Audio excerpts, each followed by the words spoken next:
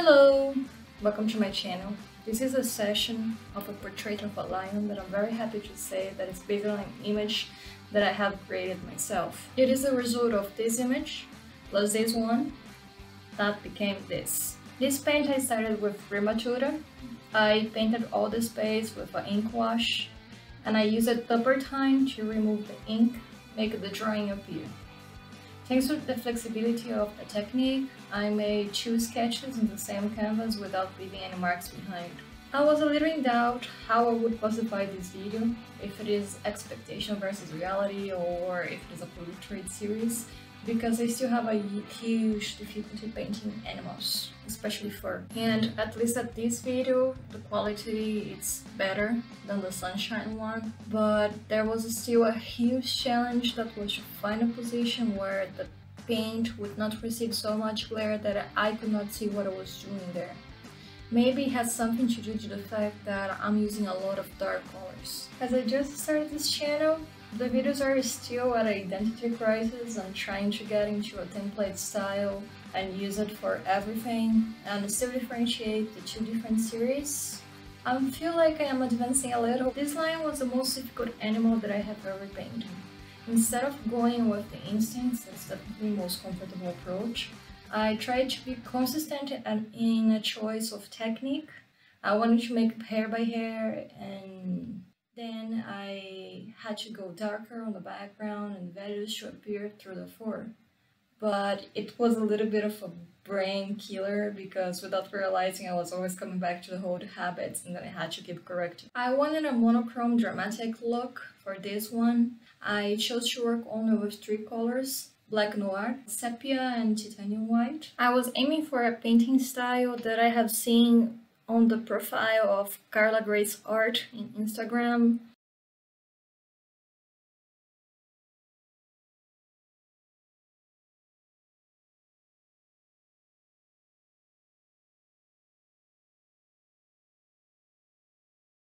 At this point, I started to put the hair strokes. I am using ink with Turpentine to make the lines as thin as I can. And the good thing is that it, it dries very fast. My first feeling doing it was about how difficult it feels to make proportions right.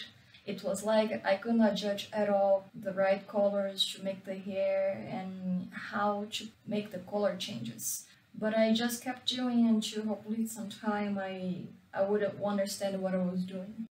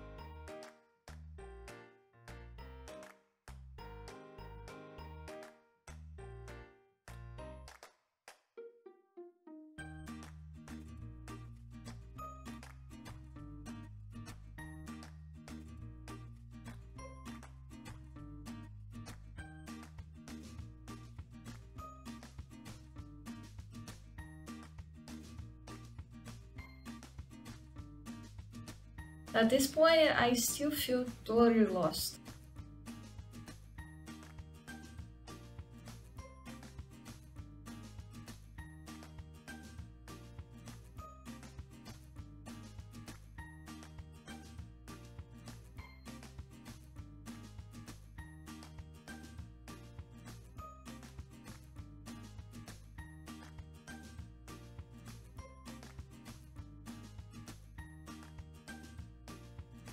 The biggest struggle here is to get the proportions right at the nose and region of the eyes. I'm still doing doing it.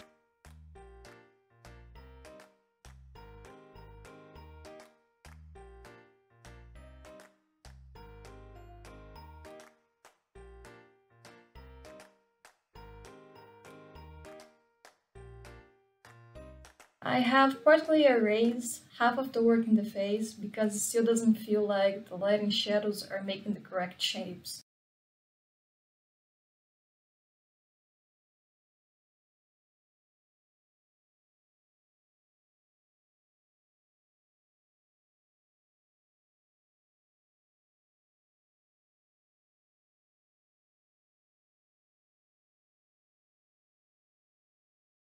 I thought I was almost done with the facial hair.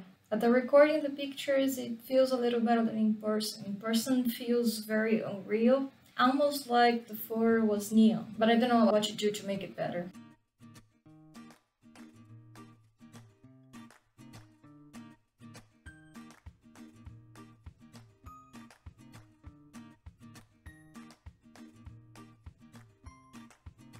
And apparently to glue the canvas directly to the wall is the best solution to eliminate the glare.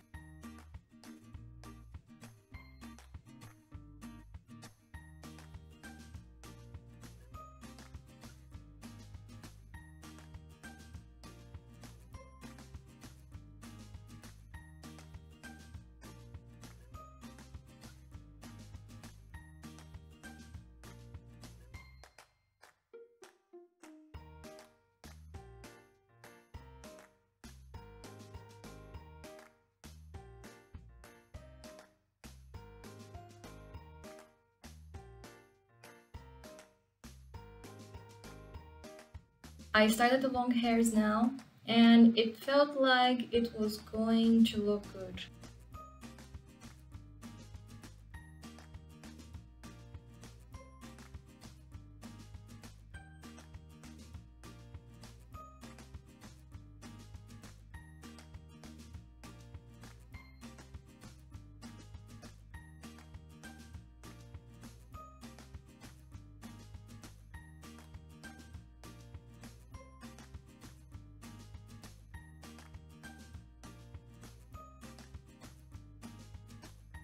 And then, wait a minute, did the line went to the hairdresser?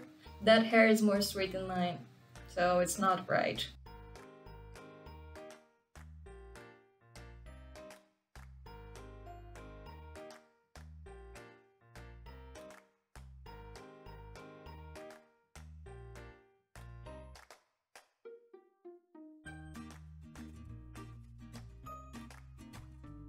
When something isn't going very well, it's better to refresh the eye and move to another point.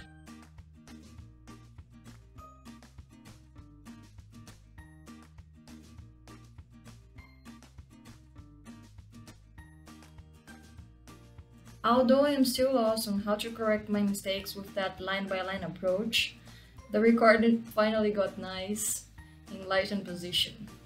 Score!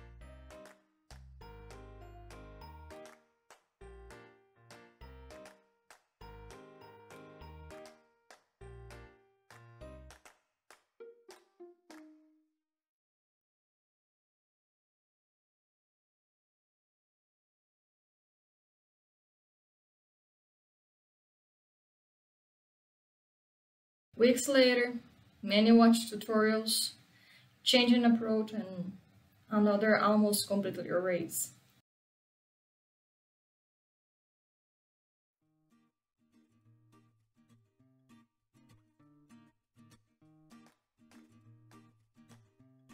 I decided to go raw. I saw people doing underpaint with acrylic and then applying oil ink on top. I lost my patience to wait to dry again, so I used an acrylic. But was a crazy move because my acrylic is a generic sold in supermarket and not water resistant, so it may be a disaster. The regular look for the hair finally appeared. In the end, the idea is just to add a little bit of ink, add a fan or flat or angled brush, and go very lightly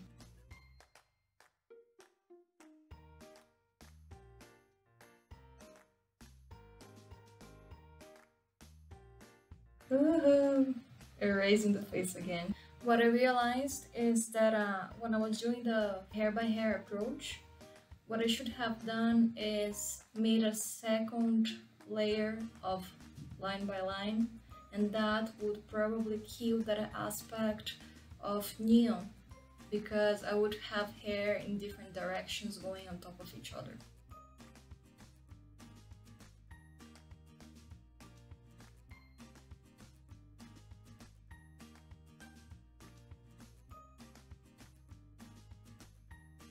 I am still erasing trying to get the right proportions.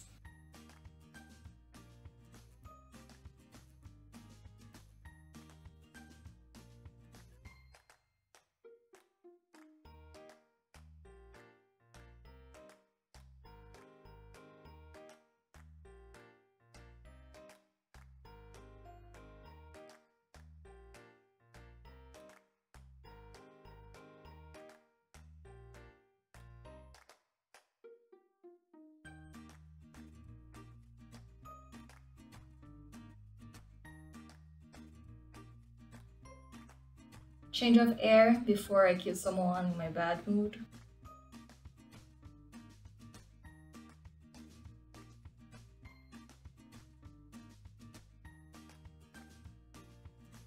It looks like I'm erasing again, but what I'm doing now is to apply the glazing.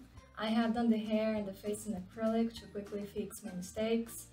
And with the glazing, I am making the coat of oil ink made more transparent with the use of liquid and that is how I actually do some tones that really white.